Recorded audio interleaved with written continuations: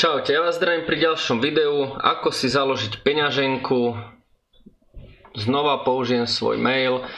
Tých možností máme viac. Ja som v e-booku hovoril o peňaženke blockchain.com, či na túto budem robiť návod, ale vy si môžete vybrať napríklad aj Trust Wallet, ktorú ja osobne nepoužívam, má tam všetky tieto kryptomeny. Vy si napríklad môžete vybrať aj MyEther ktorá úzko spolupracuje s Trezorom, a Ledgerom, ale o tom ešte bude.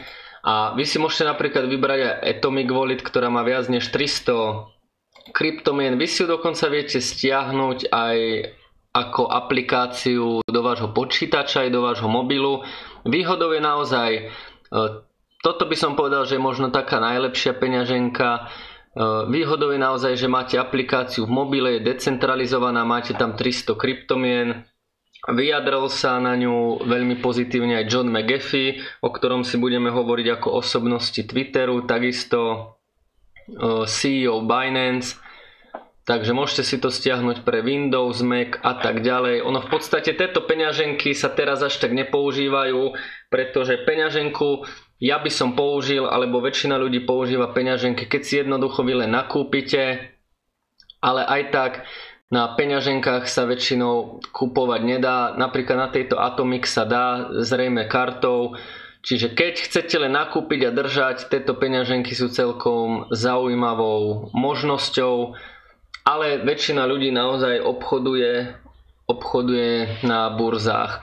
Takže ten proces verifikácie alebo toho prihlásenia, toto je už sa mi zdá raz, dva, tri, šieste video a znova sa budem opakovať, je to všade rovnaké. Jednoducho sa len zaregistrujete, potvrdíte mail, poslať a prijať kryptomeny my už vieme, jednoducho na základe adries. Znova zopakujem, ne, jediné čo si vy jednoducho nemôžete pomýliť je napríklad, že aj ako vidíme na tomto obrázku, že vy si budete chcieť poslať bitcoin a kliknete na Ethereovú adresu. Keď si pošlete bitcoin na Ethereovú adresu je to veľmi zlé a zrejme je to stratené ale ináč v podstate vy nemáte čo pokaziť. Hej, predstavte si, že každá kryptomena má svoj vlastný IBAN a my tú danú kryptomenu musíme poslať na ten IBAN. To je jediné, čo sa tam dá pokaziť, keď toto zvládnete, že idete si poslať Bitcoin a skopírujete si Bitcoinovú peňaženku, tak ste v kľude.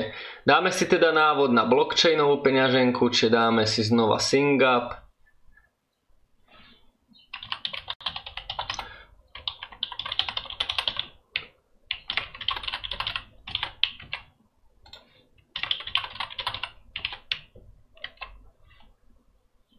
No, heslo mi zase ukazuje slabé.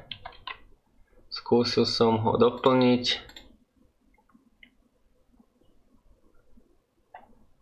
No, vytvorená peňaženka. V podstate ja o tejto peňaženke píšem aj v našom e-booku, čiže tam už nejaký jednoduchý návod máte. Takisto viete pripojiť aj Ledger, o tom ale ešte bude, čiže to asi využijeme. No a na tejto peňaženke máte Bitcoin, Ethereum, Bitcoin Cash, Stellar, Chcete poslať, dáte poslať, chcete prijať, dáte request. Toto je vaša bitcoinová peňaženka, všetko hotovo. Nemusíte sa verifikovať. Je to jednoducho, je to naozaj jednoduché. Keď si chcete swapovať svoje kryptomeny, to znamená nejako meniť medzi sebou, tak si viete napríklad Bitcoin meniť za Ether a podobne. Na to už ale musíte byť verifikovaní. Ja by som to neodporúčal, jednoducho ak chcete nejako obchodovať alebo niečo si meniť, založte si minimálne Kraken alebo aspoň ten Kraken. No.